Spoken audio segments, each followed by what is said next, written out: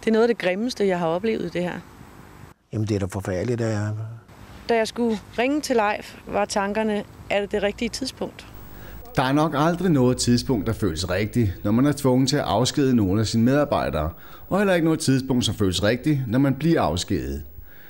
Tirsdagens prikkerunde i Køge Kommune har uden tvivl været den værste dag for rigtig mange kommunalt ansatte i Køge. Leif Larsen havde en helt speciel oplevelse af den famøse formiddag. Han var netop vågnet efter en operation på Roskilde sygehus. Så ringede telefonen, og så var det fra min arbejdsplads, Strandgården, SFO. Og der fik jeg så, der fik jeg så øh, øh, besked på, eller jeg fik svar på, på pegerunden, at, øh, at jeg var blevet udpeget til øh, at blive sagt op. Og det synes jeg måske ikke øh, lige var det rette tidspunkt at gøre det på, altså, når man lige er kommet op for en operation, og det sagde jeg så ofte til min, til min leder, men... Øh. Det var en rigtig skidt situation, vi stod i. Som jeg som leder stod i, og som øh, tillidsmand stod i, og som hele personalegruppen stod i. For der var lavet nogle aftaler. Jeg har indhentet mobilnummer og telefonnummer på alle dem, som øh, alle personaler i tilfælde af sygdom eller andet, fravær. Så alle vidste, at de skulle være på deres telefon mellem 10 og 12 og kunne træffes derefter, ja. Personalet her på stedet havde, havde valgt at spise morgenmad sammen fra 10 til 12. Og det var der, spændingen skulle udløses. Nu har vi ventet så længe. Så da jeg skulle ringe til Leif, var tankerne, er det det rigtige tidspunkt? Vi har overholdt alle de indgående aftaler, der har været både i, i processen og i, i aftalen, der er lavet i personalegruppen internt. Ja, så det hele bliver overholdt. Er det sådan, at det er hensynet til de øvrige øh, ansatte og deres oplysninger om, hvem der egentlig står for tur, at man ikke kunne vente til dagen efter? Øh, der er jo udstukket op, oppefra, at det er den 12. det skulle ske. Det kunne være på forskellige tidspunkter af dagen, og vi har så lagt tidspunktet fra 10 til 12. Men det var absolut af hensyn til hele medarbejdergruppen, som har gået i en øh, voldsom, i, under et voldsomt pres i måneder. Den spænding skulle udløses. Det er den ene del af det. Øh, den anden del af det kunne også være øh, medarbejderen selv her, som er indlagt på sygehus. Tænk nu, hvis den var udskudt til dagen efter, og han ikke fik meddelelsen som aftalt. Altså, så der, der er ikke noget, der er rigtigt eller forkert her, udover at vi har overholdt de aftaler, vi har lavet indbyrdes.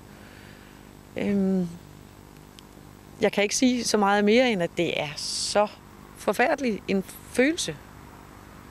Der er altså for så vidt ikke noget galt med det, at Leif Larsen bliver ringet op på sygehuset. Problemet er bare, at Leif aldrig troede, at han kunne være i farezonen. Jeg har en øh, uddannelsesaftale, fordi jeg er i gang med at læse til pædagog. Spiller den ikke ind i, om hvorvidt han egentlig øh, øh, kan afskedes eller ej? Øhm, den spiller ikke ind i mit valg, som jeg har måttet tage som leder. Men øh, ellers er det rigtigt, den spiller ind i forhold til Leifs ansættelse, og den har jeg forhørt mig om, og der skulle tingene være i orden. Så, så kommunen har sagt god for, at, øh, at han øh, behandles på lige fod med, med alle andre, hvad angår afskedelse? Det er fuldstændig rigtigt. Alle har været i spil her. Både ham under uddannelse og barslende og overlovstagende. Alle har været i spil. Sikkerhedsrepræsentanter, tillidsmænd. Alle har været i spil. Dagen før den telefoniske fyring modtog Leif Larsen et ansættelsesbrev fra kommunen. Så, så jeg, jeg tænkte lidt på, hvorfor, hvorfor, hvorfor kommer de? Øhm, og så øh, ringede Lone til dem i dag øh, på personalkontoret og, og henvendte sig til ham, som der havde sendt brevet der, og han var slet ikke klar over, at der lå sådan et øh, sådan en øh, uddannelsesaftale, så det var sådan lidt sjovt, hvor meget tjek de har på det Køge Kommune. Det vil sige, at du fik ansættelsespapir i går og en, og en opsigelse i dag. Ja, det er rigtig flot. Plus jeg har en uddannelsesaftale, som, som der gør, at de ikke kan føre mig.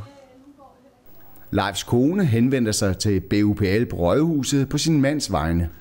Og vi laver en indsigelse på, øh, på, øh, på den opsigelse, de har givet mig, og så øh, tager vi den derfra.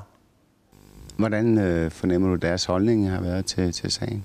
Jamen, øh, så deres holdning det er selvfølgelig, at de kan overhovedet ikke sige mig op, øh, når jeg har en uddannelsesaftale. Så, øh, så det er jo spændende at så se, hvad der, hvad der så sker. Hvorvidt den omtalte uddannelseskontrakt eksisterer på personalkontoret, eller om der er sket en fejl, eller om kontrakten overhovedet spiller nogen rolle, står indtil videre hen i det uvisse.